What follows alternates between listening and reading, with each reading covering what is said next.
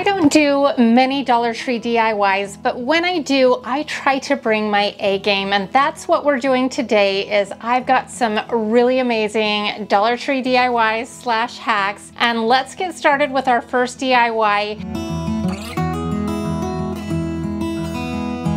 So I came across all of these little wall stickers. They're jumbo floral stickers and I'd seen similar stuff there before, but these were a little bit larger and way more amazing.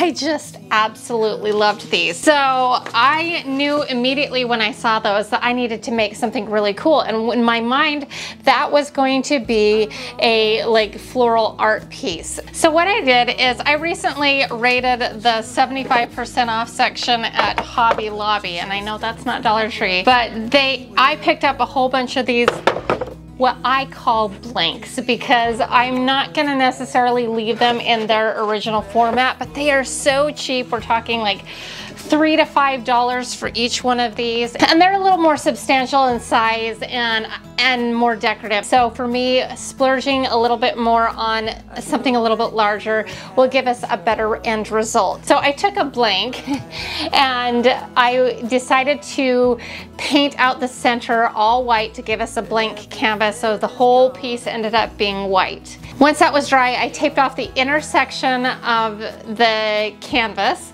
and with some painter's tape covered it up and then I took it outside and spray painted it in a gold leaf spray paint. And this gave us a really pretty gold color for the frame and gave us a really beautiful blank canvas. Then I took our Dollar Tree wall stickers and I peeled off this one right here and lined it up on either edge of our canvas. Then I decided to put a name on it and what I did is I cut out in some chipboard on my Cricut Maker 3 um, my daughter's name and I thought that I would turn this into like a name art piece for her. Now she's a little bit older, she's like college aged and I was a little worried at first that this might be a little juvenile for her but hang on with me for a second and I'll tell you what she thought about it when I sent her a picture of it. But I cut her name out and the font that I used was Stay Girly because this is definitely like a girly type piece here. Once that was cut out, I took it outside and spray painted it in that same gold color that we had used on the border. Now, if you don't have a Cricut maker, you can buy like a small name piece off of Etsy. There's lots of sellers that sell that. Or maybe even create some out of like block letters that you can find at any of the craft stores. So you don't necessarily have to do it this way. Hopefully this will get your creative juices flowing. So once this was dry, I laid it on and then I felt like it was a little blank so I kind of played around with some different options like a littler one to put in the center. I didn't really like that too much so then I took a more like fuchsia colored peony one and cut that down the middle and split it between the top and the bottom kind of creating like a floral border around our canvas and I'm like this is looking pretty good. I was really happy with how it was looking and I'm like no I want it to pop out just a little bit more. I want it to be slightly more three-dimensional than, than laying it flat down. I mean, we did have some dimension from the thickness of the chipboard, but I wanted it to even pop off even more. So I was rummaging through my stash because I don't want to have to go out and buy something if, if I can find something that will work in my craft supplies and I had some beads left over from something else. They were flat and they were all the same size. So I went ahead and picked out enough to get this job done. And then I just hot glued these beads to the back of the letters and then once we got them on all of the letters then we hot glued the, the back of the beads to the board, if that makes sense. And then we are left with this really cute art piece. Now I'm gonna hold off giving you a lot of the finished shots right now because I'm in my next DIY, it's kind of a little bit of a vignette, but here's like a little sneak peek of what it looks like. But hang with me uh, because my next DIY is so awesome and it kind of goes together. My next DIY, we are gonna be making some really elegant wall sconces out of the Dollar Tree napkin holder. You're probably going, what?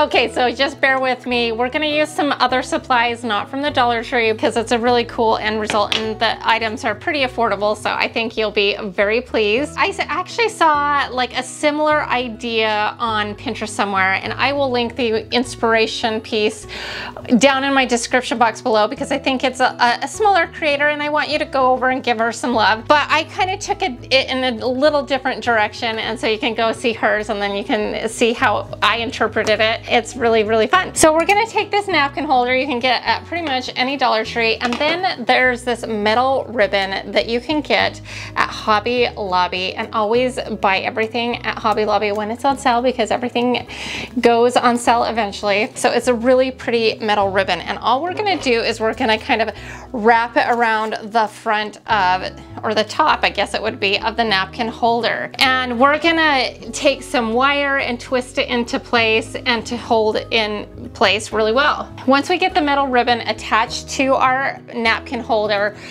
I took it outside and I sprayed it in a gold spray paint and I wanted to try something different because I really like the 18 karat gold spray paint. I use it a lot. I think it's by Krylon, but it's not always available. So I wanted to try out some different spray paints because I knew that there would be a different color.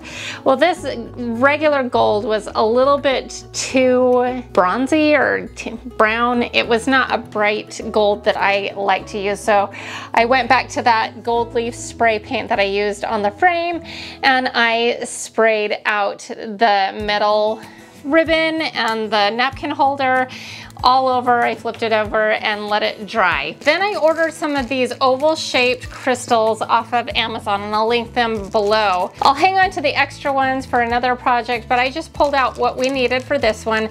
And then I took some more gold wire and wired them into place in those like vacant holes. You just fill that in with the oval crystal. Then once that's attached, you're gonna need some little strands of crystal and I bought a huge packet of these like a couple of years ago. I have it in my stash ready to go. They're very affordable. I got them off of Amazon. I'll link that as well. And I kind of alternated links of three and links of four and you'll see why that's gonna um, make sense here in a second. And then to the bottom of those strands, I took I got this package at Hobby Lobby, 50% off, so it was like $5 for 48 of these little crystals. And they're not really crystals, they're plastic, but they look pretty good. and I just wired those to the ends of our strands.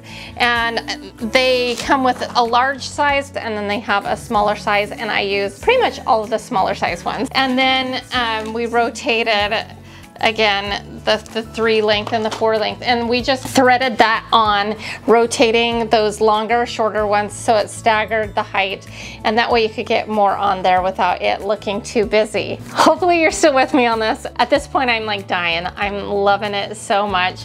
And then I twisted on just some more gold wire to kind of wrap around any um, screws that we used to hang it on the wall. And then I hung it on the wall, um, just using some screws, making sure it's level.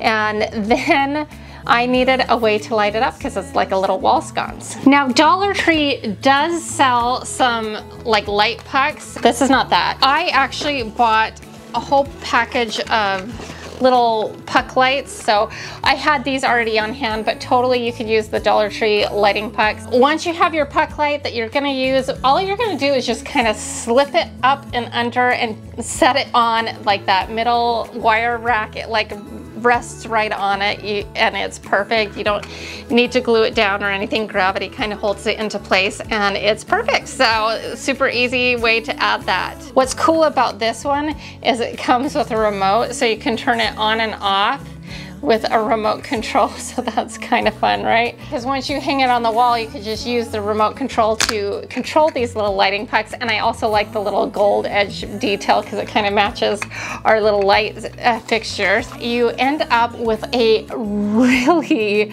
bougie, we'll call it, light fixture is super fun.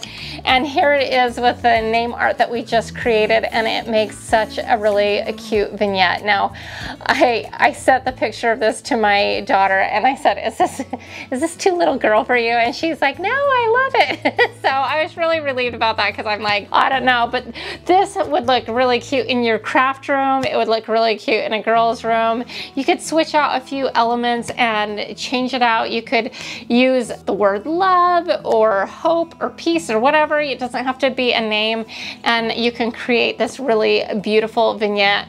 Some of the stuff from the Dollar Tree, some of the stuff from other places, but creating a really high-end, beautiful look. I just love this. I don't know, what do you think of it?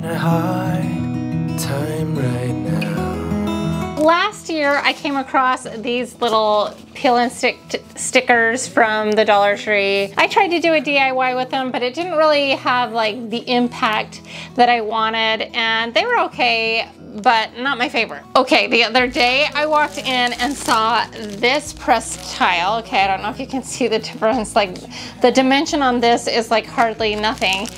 This, the texture on this is amazing. And I'm like, Dollar Tree, that's pretty impressive. It's like a, like a faux pressed tin tile and I definitely knew I wanted to do something with this. So I took a wood canvas that I pick up from Walmart and I believe the, they're about 12 inches square. I can't remember the price of them. And all I did was peel off the backing of this sticker tile and stick it down to the clock. And then I wanted to have kind of like that antique to painted down effect. So I painted the whole thing out in a white chalk paint and I was looking at it and I was like, you know, that's okay. But I had a frame that was kind of broken. It had like one little crack in the bottom and the glass was broken. I had stepped on it by accident. But I'm like, well, it doesn't have any glass in it anymore. So maybe I can just add, add that to what I've got going on to add a little bit of more interest and finish it off a little bit more. So I just hot glued that on top of our painted out white and then um, painted that out white. And then to kind of give it an antique look, I took some sandpaper and kind of roughed it down a little bit so that some of that gray would pop through, kind of like you would see on like an aged antique pressed tin. And I'm like, this is looking so good. It looks so authentic. And then I took out my drill and drilled a hole in the center and we added like a clock kit to it. You know, just kind of attach that on the back and then on the front. And then we have a really cute working clock. This clock is gonna look so super cute in my bedroom. It just really has a really cute feel. I feel like this would make a really good gift uh, idea for not very much money. But I do have to say that I am just super impressed with this. It'd be really interesting to see somebody do a backsplash using this and like paint it out in the same manner. I feel like that could look really, really good based off of the results of my clock. I am really happy with how this little clock turned out and I hope you like it too. You through, cause we only want what's best what's best for you. So I went to Dollar Tree and I I kind of went nuts. I had a huge haul. I was just so impressed with some of the things I had seen there. And I don't know, is that something like if I did like my favorite Dollar Tree buys, is that a video that you'd want to see? If so, let me know. I just, I don't know if that's something you would all want to watch or not, but there were some really cool products I was pretty impressed with. Stretching the envelope a little bit with these past DIYs, using some stuff from other stores to kind of like give it a more elevated look. This next one though, I pretty much mostly used just Dollar Tree stuff and I found those cathedral windows, maybe you've seen them, and I thought, you know, we could really kind of replicate an idea I did last year with a garden fencing with this idea. So I took four of the cathedral windows and I glued them to the around the edges of uh, one of their art pieces that they have there for a dollar and then it, left like a little tiny gap in the corner. So I took out a square dowel and I cut them down using this little mini table saw that I got recently. It was the first time I used this table saw and I'm still kind of testing it out. So the jury's still out on whether I like this or not. I like the idea of it. I wasn't like uber impressed with the cut just because it didn't seem like super straight and it was a little bit hard. So I think that there's room for improvement on this tool, but it was really kind of cool to not have to go cut it down on my saw outside. So that was kind of handy um, to just cut down these little dowels with. But I cut down some dowels and I filled in those cracks and I kind of glued that into place. And then I just had some little finials on hand. So I finished that out and added little finials on top of each one of these little dowels. And that was it for the structure of it. Then I took it outside and I spray painted the whole thing gray with a gray primer because at first I thought I might sand it down and distress it. I didn't end up doing that part, but then I followed it up with a flat white spray paint and I did a couple of coats, making sure to get everything. I kind of tilted it up, sprayed it everywhere, and that's it. And then I have a really cool, like awesome candle holder. I could, you know, maybe put a little clear vase inside it with some flowers sticking out the top. But it's a really cute decorative piece made with mostly Dollar Tree items. You could switch out those dowels and use like Jenga pieces and make it fully Dollar Tree. But the end product of this is so super cute. I just love it. I think it's a really cute piece and I hope you like it too. on that haul that I was talking about, I came across these new metal tins. They had like little seahorses on them and little crabs on them. And I thought those were really cute. I especially loved the crab one because it gave me like an idea of to do something nautical. So the first thing I did is painted out my tin in a seafoam craft paint and I think that's actually the color. So I did that and then I'm like, well, maybe what if we painted out the little crab red? So I tried that out and I knew I wanted it to be a little bit rustic. So once that was all dried, I kind of like sanded it down and I didn't love it. so I just went back in and repainted over the crab in the original seafoam color and then did a little light sanding to just kind of give it like a rustic flair. Then I took some wood rounds that I pick up at Hobby Lobby. I always have them on hand. They come in like a two pack and I put a little bit of water in a cup and I put in some gray craft paint and some brown craft paint and kind of made a stain out of that or a color wash and I mixed that up and I put that on the wood round and then let that fully dry. Then I took out my drill and drilled a hole. And then I took a little crab knob that I found at Hobby Lobby and attached that to the wood tin.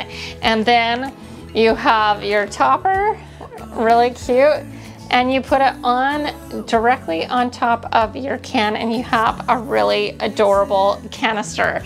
Now, several episodes ago, I created this little kitschy kind of lobster trap on a thrift flip. And I think this looks super adorable together as like a little set. And I have the perfect spot for it in our home in Maine.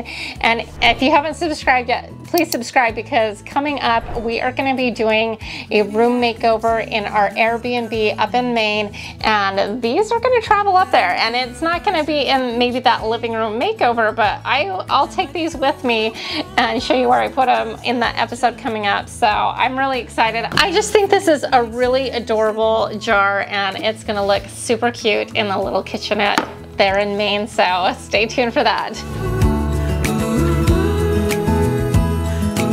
So for this next DIY, it is so easy. When I saw this pill and stick wallpaper, the first thing that came to mind was this Pottery Barn piece that I had seen and been kind of looking at for months and months now. And I, I'm like, maybe we can do like a little Pottery Barn knockoff. You're gonna need one of these frames. They're square, they're 12 by 12. It's the same one we used for the pressed tin tile and this. And all we did is take it all apart and then cut this down to fit in the frame.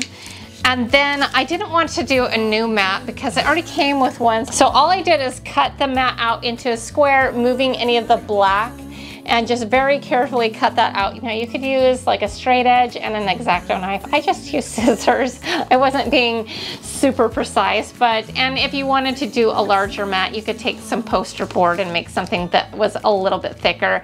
But this ended up being like a $2.50 DIY knockoff of Pottery Barn. Know, the Pottery Barn pictures are a little bit larger, but they are about $200, I believe.